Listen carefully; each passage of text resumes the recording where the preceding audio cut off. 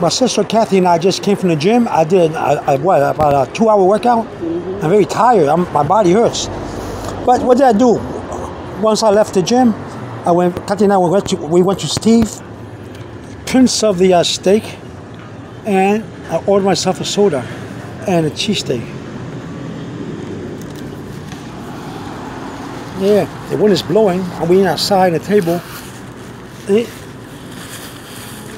See right there? Steve's cheesesteak. And look at the steak. Oh, it's not a juicy steak. Beautiful steak. Mm, I want to eat it and enjoy it. I, de- I deserve it. Uh, Yes, you do. uh, all right. Huh? I deserve it. I don't care what he says. All right. Well, Say Steve's is the uh, Prince of Steak. I believe it. Okay. Have a good day. Bye bye. Over and out.